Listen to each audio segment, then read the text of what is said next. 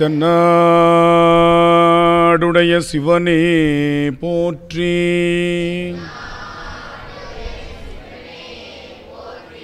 எந்நாட்டவர்க்கும் இறைவா போற்றி.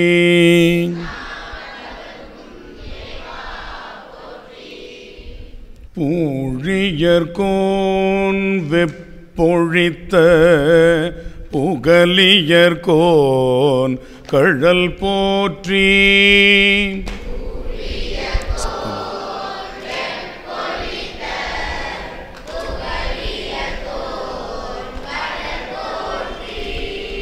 ஆழிமிசை கல்மிதப்பில் அணைந்த பிரான் அடி போற்றி.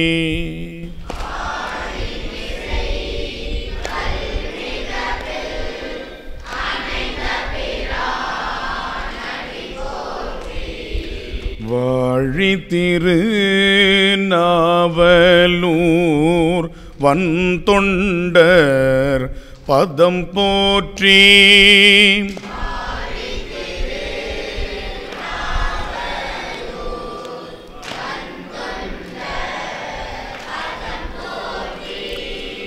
ஊழிமலி திருவாத ஊரர் திரு தாழ் போற்றி.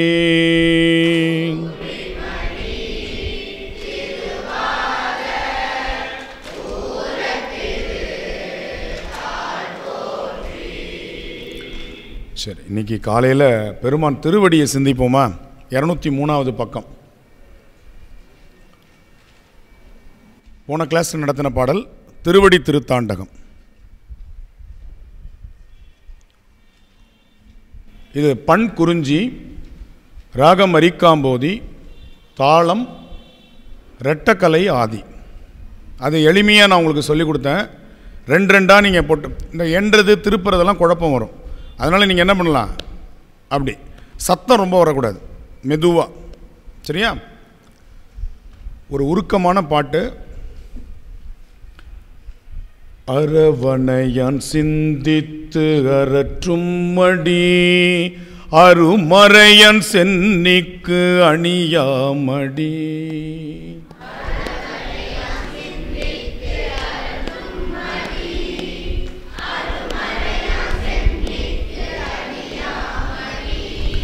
சரவணத்தான் கை தொழுது சாரும் மடி சார்ந்தார்கட்கெல்லாம் சரணாமடி.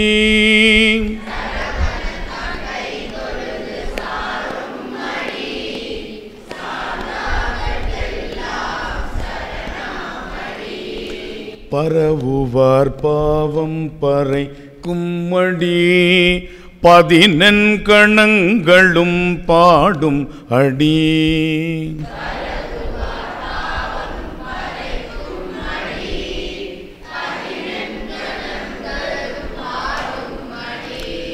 திரை விரவு தென்கெடில நாடன் நடி திருவீரட்டானத்தம் செல்வன் அடி.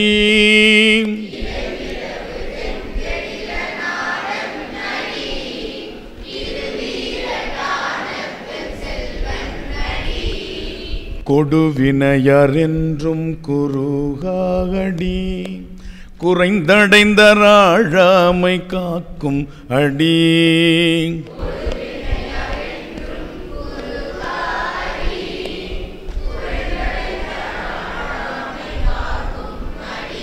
இந்த அடிங்கிறத அழுத்தாதீங்க.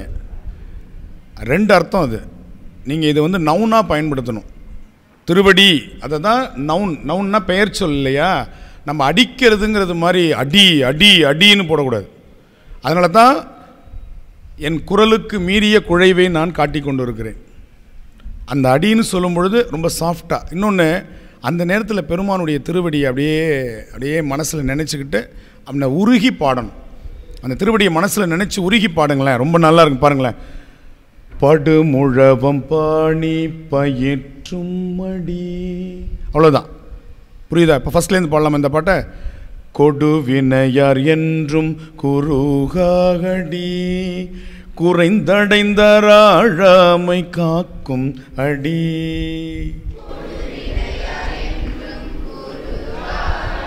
ஆ.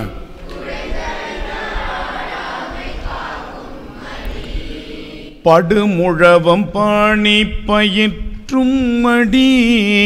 பதைத்தெழுந்த வெம் கூற்றை பாய்ந்த அடி. ஆ.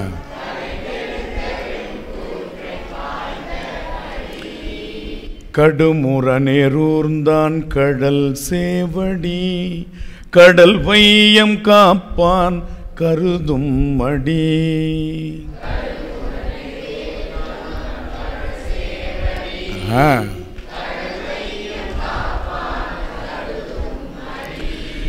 நெடுமதியம் கண்ணியணிந்த நடி நிறைகடில வீரட்டம் நீங்காகடி.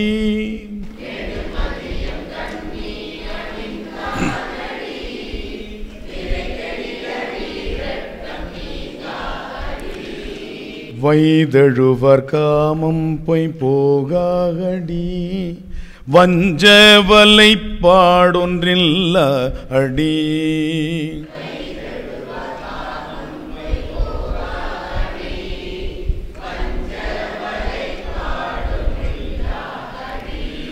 கை தொழுது நாம் ஏத்தி காணும் அடி. கணக்கு வழக்கை கடந்த அடி.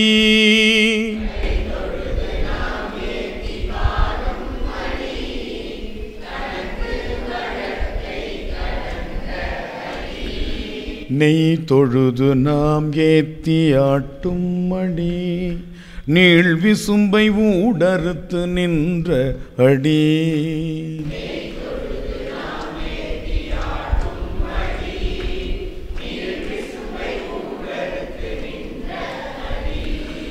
தெய்வ புனல் கடில நாடன் அடி திருவீரட்டானத்தம் செல்வன் அடி.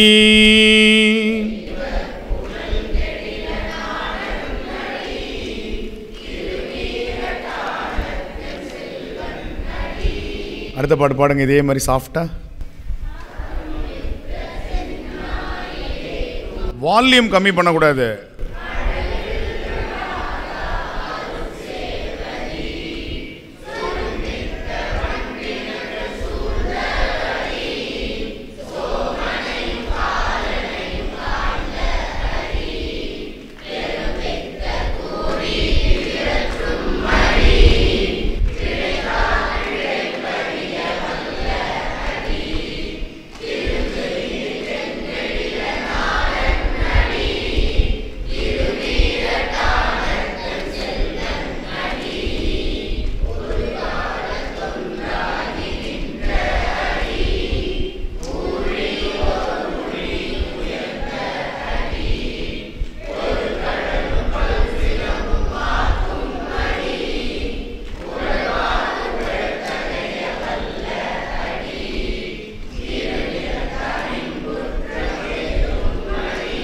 பின்னாடி சத்தமே காணும்.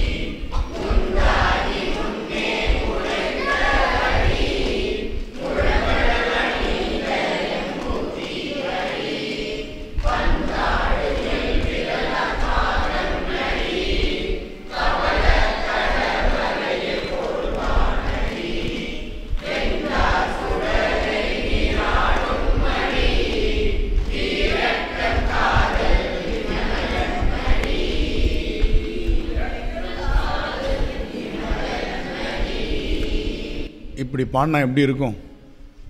அப்படியே உட்காந்து ஒரு பத்து பாட்டையும் இந்த மாதிரி பாடி முடிச்சிங்கன்னா அந்த திருவடி உங்களுக்கு கிடைச்சிட்டது மாதிரி. அதான் அந்த அரிக்காம்போதி குறிஞ்சிங்கிறதே குளிர்ச்சி தருகிற பண். ஏன் குளிர்ச்சி தருகிற பண்ணில் பாடுறோன்னா நனைந்தனைய திருவடி. திருவடியை வந்து என்னன்னு சொல்கிறோம் நனைந்தனைய திருவடி. அதனால தான் அந்த நனைந்தனைய திருவடியால் உதப்பட்டவங்க மிதிப்பட்டவங்கலாம் பிழைச்சாங்க. நெற்றியில் அவருக்கு நெருப்பு காலில் வந்து குளிர்ச்சி. புரியுதா? நெற்றியில் நெருப்பு வச்சுட்ருக்கார். ஆனால் திருவடியில் என்ன வச்சுருக்காரு? குளிர்ச்சியை வச்சுருக்கார். அதனால தான் திருவடியை பாடுகின்ற அத்தனையுமே குளிர்ச்சியிலே அமைந்திருக்கிறது. கண்டேன் அவர் திருப்பாதம் காந்தாரம் குளிர்ச்சி தருகிற பண். நனைந்தனைய திருவடி இதே தாண்டகம்தான். இதே குறிஞ்சிப்பண் நினைந்துருகும் அடியாரை நைய வைத்தார். நில்லாமே தீவினைகள் நீங்க வைத்தார். புரியுதா? அப்போ அந்த உருக்கம் நனைந்தனைய திருவடியின் தலை மேல் வைத்தார். நல்லூரம் பெருமானார் நல்லவாரே திருவடி வைத்தார்னு சொல்லலாம். அது ஏன் நல்லவாரே வைத்தார்னா மற்றவங்களுக்கெல்லாம் தண்டனைக்காக வச்ச இடம் இருக்குது அதனால் என் மேலே வச்சது அப்படி இல்லை. நல்லவாரே வைத்தார்னார். நல்லூர் எம் பெருமானார் நல்லவாரே ஏன்? ராவணனுக்கும் வச்சார் திருவடியை. ஆனால் அவன் தண்டனையாக அவனுக்கு வச்சார். ஆனால் எனக்கு அப்படி இல்லை சாமி. கூப்பிட்டு நல்லூருக்குவான்னு திருவடியை கூப்பிட்டு கொடுத்தார். அதனால் நல்லவாரே வைத்தார்னு சொன்னார். இல்லையா? யமனையும் எட்டி உதைச்சார். அதே திருவடி தான் அப்போ அந்த இடத்துல மட்டும் திருவடி மேலே இருக்கும்.